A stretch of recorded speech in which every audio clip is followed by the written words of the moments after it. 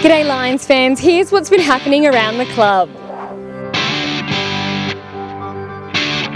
Well, our men's team have just wrapped up a massive two days of community camp in regions all across Queensland. We had players visit Chinchilla, Dalby, Kingaroy, Gatton, Goondiwindi, Warwick, Toowoomba, Gympie, the Sunshine Coast, Ipswich and Springfield, the Fraser Coast, Bundaberg and the North Burnett.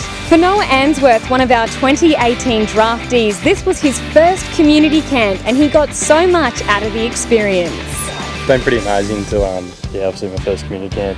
I'm really um, been involved in this sort of thing growing up and back home, so um, yeah, to see all the kids happy to come out and spend time with us, and it's of a very big um, footy state as where I'm from Victoria. It's pretty massive, so it's um, cool to teach kids about footy and um, like, like teaching them how to handball and kick a footy as well. Um, and they seem to be enjoying it. Joining Noah in the Ipswich and Springfield region were Sabrina Frederick Traub and Darcy Gardner. I love community camp. Coming out for two days um, with the club and just getting out with the community is um, the best feeling, having to give back and just have fun, it's nice. Well, I think actually when you get out here, um, just the enjoyment they actually get out of it. Um, we obviously muck around and that and um, we're not too strict and just try and, try and make them have fun. Um, they get to get out of the classroom, which a lot of them love, so yeah. Following the women's round two loss to Fremantle, here's Lauren Arnell with what's happening in the Lions AFLW den. Hey Lions fans, Lauren Arnell here again for the round two wrap.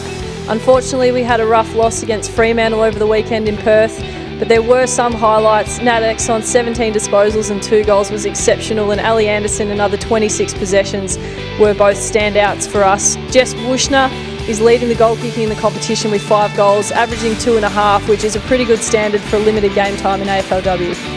We'll have one force change with Ari Clarke being suspended for one week against Fremantle, so one force change coming into this weekend's game. Looking ahead to this week, we've got Melbourne at Hickey Park, Wilston Grange, so really looking forward to a massive crowd of supporters out there, Lions fans. Melbourne are an exceptional team with some standout players. Their co-captain Elise O'Dea had a wonderful game last week against Collingwood and absolutely dominated. They've also got a handy ruck in Lauren Pearce um, and a very tall and agile forward line. So we're looking forward to the contest and we look forward to seeing you there on Sunday at Hickey Park. Many of the women are very experienced with this ground, with some premiership players with the Wilston Grange Gorillas, including Kate Lutkins. Um, I've been here four years now, so it's going to be something really special running out there on Sunday afternoon. Look, it's just a great football field, to be honest. Um, we're looking at bringing a lot of intention and energy to the round this weekend.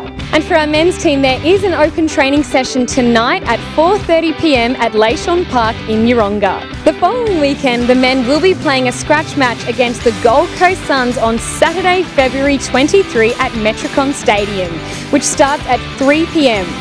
This will be the Lions' first game against opposition this year, so make sure you head down to the Gold Coast. That's all we've got time for. Looking forward to seeing everyone out at Hickey Park this weekend. Go Lions!